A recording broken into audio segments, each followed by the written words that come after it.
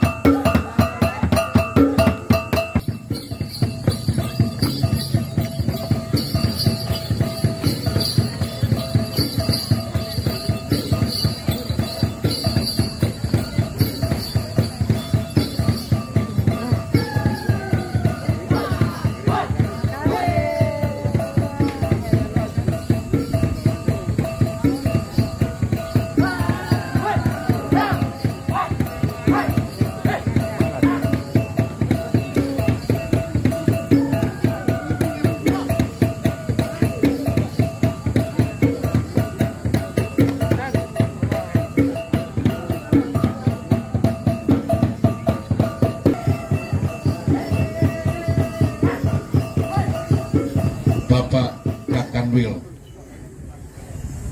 Wilayah